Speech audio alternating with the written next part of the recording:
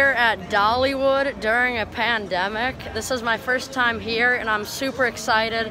I know that Wild Eagle is running because I saw it, but I have no idea if anything else is open. So as of now, we're going to go pick up our fast passes and then we're gonna go see, see and make sure if Lightning Rod is open. So we'll see you after that.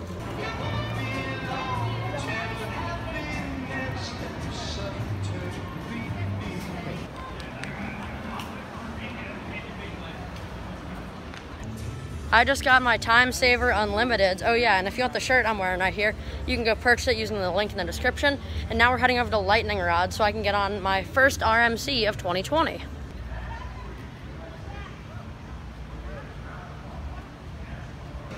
Lightning Rod isn't currently open. We just saw it test, but hasn't been open all morning yet, so it's a little disappointing, but we're gonna have to move on, check out something else.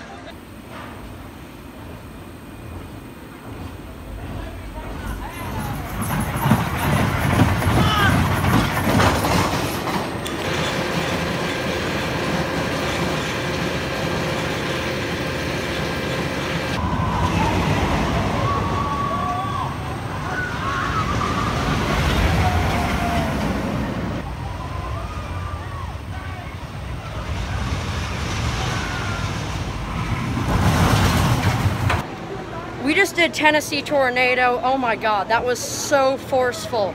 There's crazy airtime on like both of the first drops. Like the pre-drop gives great airtime. The first drop gives outstanding and sustained ejector. I grayed out after the second loop into the Sidewinder. That thing is so intense. Like, I don't even know what to say. I'm at a loss for words. That was crazy.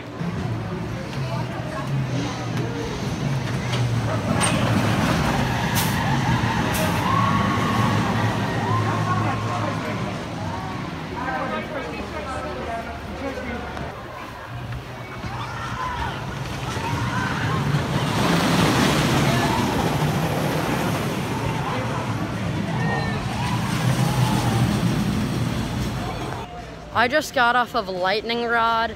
That is phenomenal. The launch was way more intense than I thought it would be.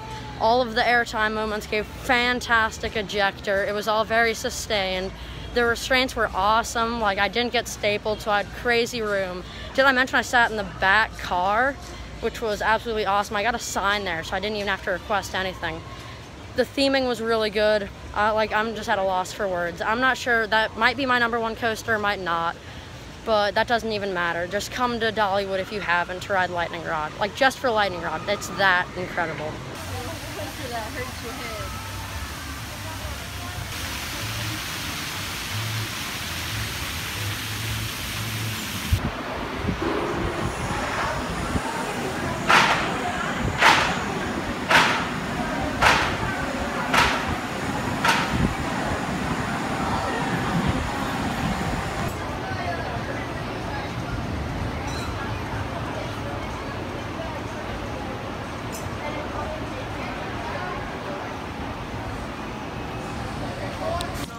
We just got off of Wild Eagle. That was a really fun B&M wing coaster. I have no idea what is going on with my body today. I just grayed out on that.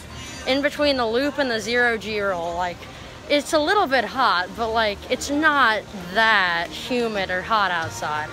But besides that, it's actually a really fun ride. Forceful, has some good airtime on the first drop, good whip through the inversions. Got a little airtime on the airtime hill towards the end there. So I overall recommend, yeah.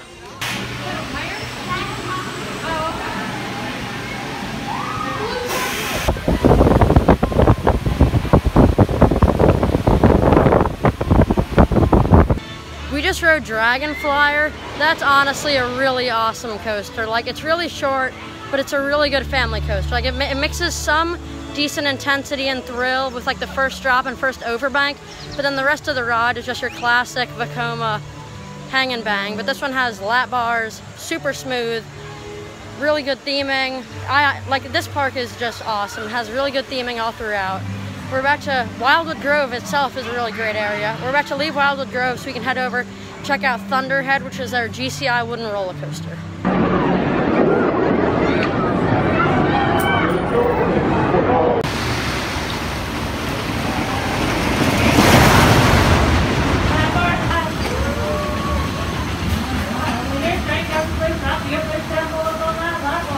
We just got off of Thunderhead.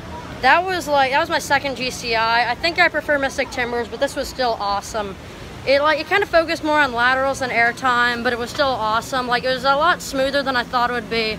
Not, oh yeah, the seats are like insanely comfortable. It feels like sitting on a couch. I don't even know what they did with that in Mystic Timbers, but I don't know. This is an awesome GCI. I definitely recommend it. I'm not sure where I place in the parks lineup because it's just so strong and deep, but it's an awesome coaster, that's for sure.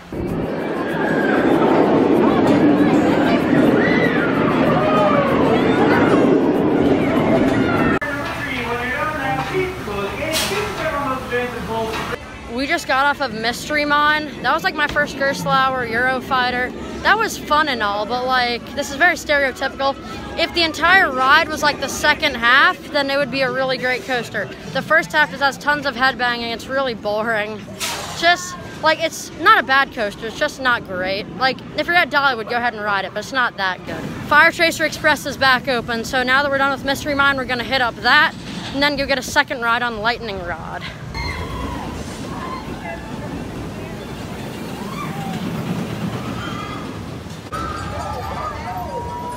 It's going right now.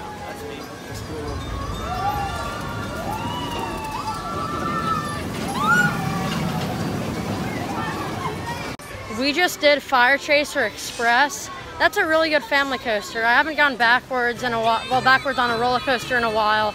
It was fun. The backwards launch was really intense and it was a lot more than I was expecting. The rest of the ride just kind of meanders around, but it's a really good family coaster. Definitely one to get your kids into, into like enthusiasts, you know?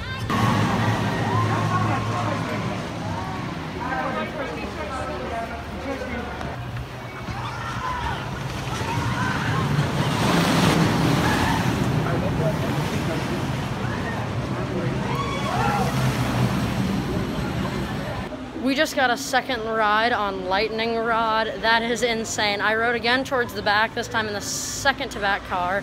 That has so much airtime. The launch is actually really intense and I did not expect it to be.